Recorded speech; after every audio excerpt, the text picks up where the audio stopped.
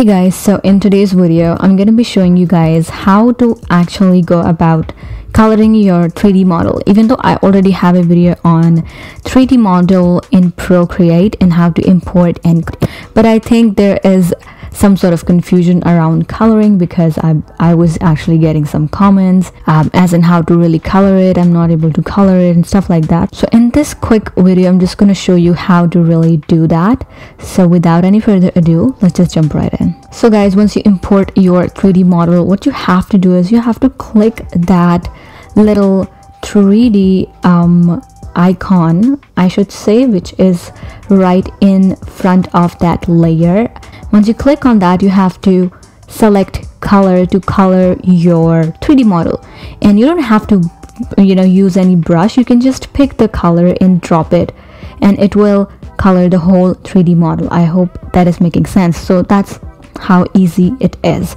And you can also just go ahead and you know review the 2d textures. And whatever you create or draw over these textures will also appear in your 3d model. So if you're not comfortable painting on the 3d model and it is you know hard for you for some reason then you can always come back to these 2d textures and you know you can paint something whatever you'll paint over that will appear on your 3D model. So that's like the basic principle, I should say, or the very, you know, base knowledge you should have about coloring a 3D model right in here in Procreate. So that's that. So I actually removed that green thingy that I drew because I didn't, I just wanted to show you guys how it really works. And now we have roughness. When you pick up roughness and color with black color it, it actually adds some sort of reflection over that 3d model. You'll just see you just guys you guys can see um, it's kind of reflective. So that's what um, roughness is but you have to make sure you're coloring it with a black color. So that's that and that's how you can actually play around with your 3D model.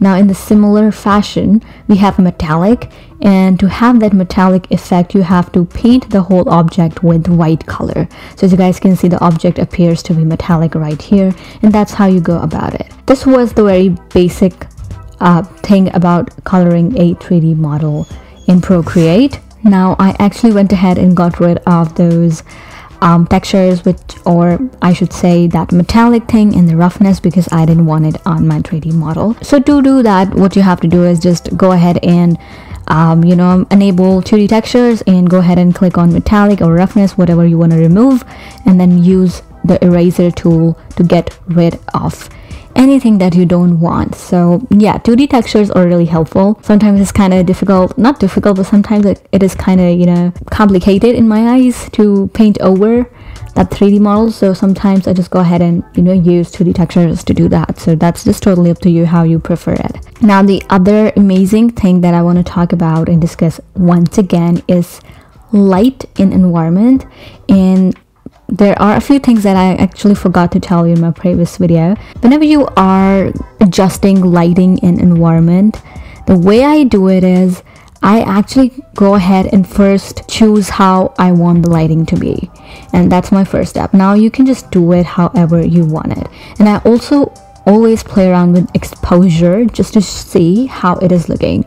So the key here is to always always play around a little and uh, just to see what looks good and what does not. So yeah that's what i'm doing here. I am actually going ahead with selecting some environment and also i have my lighting set up.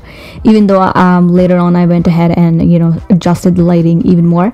That's how you do it you know. You have to just see and play around just to see what is looking good and what is not. So that's that. It's really simple you guys. There's you know there should be no confusion. These little cubes represent lighting.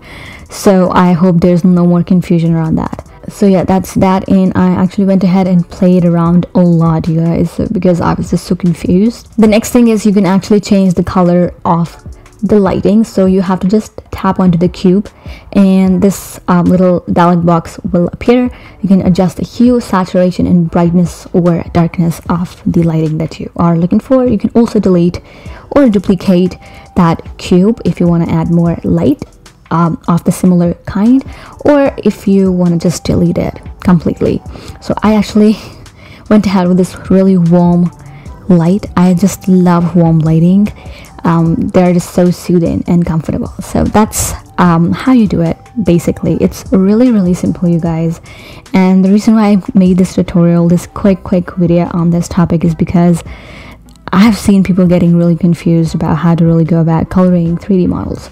Now, if you haven't watched my video on how to really import 3D model, and if you are not a 3D artist and you don't know how to sculpt, how to actually get a 3D model just to have fun with, you know, just to practice coloring a little, just to play around with this new Procreate update. So if you haven't watched that video, go ahead and watch it now. I will link it down in the description.